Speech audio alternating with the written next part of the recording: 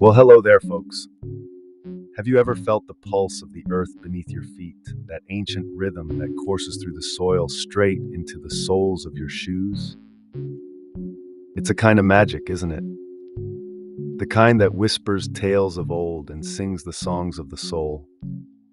Today, we're embracing a journey through the rich tapestry of African magic, a world where the heartbeat of hoodoo syncopates with the rhythm of life.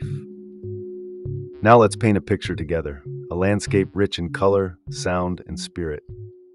Imagine walking down a dusty road as the sun sets, a warm breeze carrying the scent of herbs and the murmur of incantations. This, my friends, is where our exploration begins, in the cradle of humanity, where every grain of sand holds a story, every whispering tree shares a secret. What is it about African magic, about hoodoo, that resonates so deeply within the human spirit? Is it the allure of the unknown, or is it perhaps a recognition, a remembrance of something ancient and familiar? This question, it's like a lantern in the dark, guiding us through the intricate dance of existence and belief. Delving deeper, we find that hoodoo is not just a practice, but a tapestry woven with the threads of history, culture, and personal empowerment. Each stitch is a story, a lesson in survival and resilience.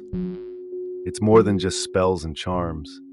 It's a way of understanding the world, a means of turning the tides in one's favor using the very elements of nature. Now, consider for a moment the universal relatability of seeking control in a world that is often uncontrollable. That's a common thread we share, no matter the longitude and latitude of our birth. Throughout the ages, philosophers and sages have grappled with the nature of reality and magic. Socrates once mused on the power of the unseen, and in our own time, thinkers continue to debate the intersection of faith, magic, and science. In the realm of hoodoo, such wisdom is often passed down through oral tradition, each generation contributing its voice to the chorus of understanding. Let's take a moment to step back into the annals of history. Consider the transatlantic slave trade, a period of unspeakable suffering that nonetheless saw the resilience of African spiritual practices.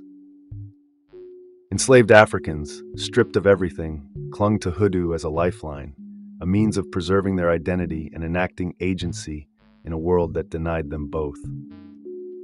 Fast forward to today, and we can see echoes of those same practices in the ongoing struggle for cultural recognition and civil rights.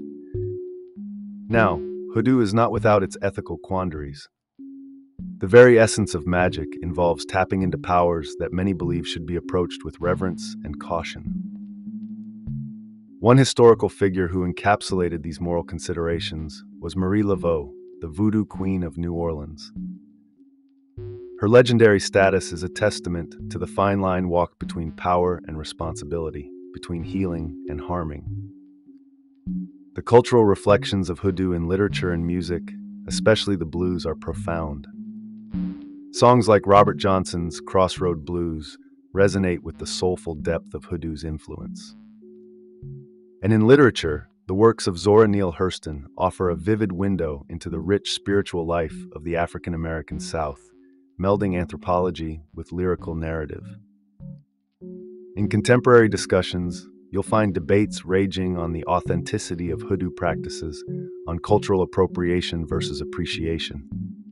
These debates invite us to consider, with respect and sensitivity, the lines between sharing and stealing cultural heritage.